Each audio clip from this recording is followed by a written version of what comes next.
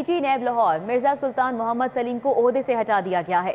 Chairman नैब के हुक्म पर डीजी नैब लाहौर को इस्लामाबाद रिपोर्ट करने का हुक्म दिया गया।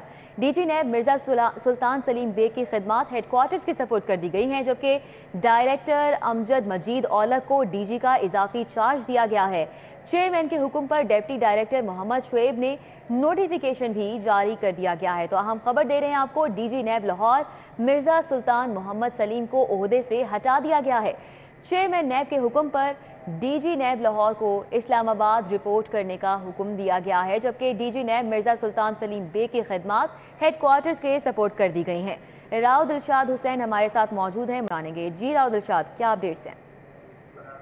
बिल्कुल रिदा चूँकि डीजी नैब लाहौर मिर्ज़ा सुल्तान मोहम्मद सलीम को चार रवा साल चार जुलाई को तैनात किया गया था डीजी लाहौर और अब सिर्फ़ चार माह, सात रोज बाद इनको अहदे से हटा दिया गया है। आपको ये बताएँ कि चेयरमैन नैब के हुक्म पर डीजी नैब लाहौर, मिर्ज़ा सुल्तान मोहम्मद सलीम को नैब हेडक्वार्टर इस्लामाबाद रिपोर्ट करने की हिदायत जारी कर दी गई हैं। तकर्र तबादले के नोटिफिकेशन के मुताबिक डीजी नैब मिर्ज़ा सुल्तान मोहम्मद सलीम की खिदमत अब नैब हेडक्वार्टर इस्लामाबाद की सपोर्ट की गई हैं।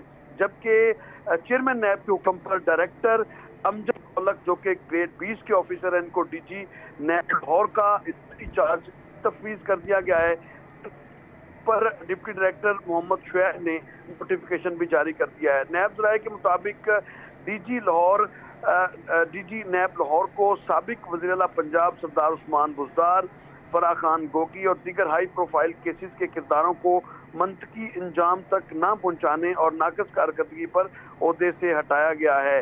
याद रहे कि मिर्ज़ा सुल्तान मोहम्मद सलीम, डीजी नैब सखर और दीगर जो कलीसी भी फाइल्स रह चुके हैं। बहुत शुक्रिया राउद हुसैन हमारे साथ थे अपडेट कर रहे थे।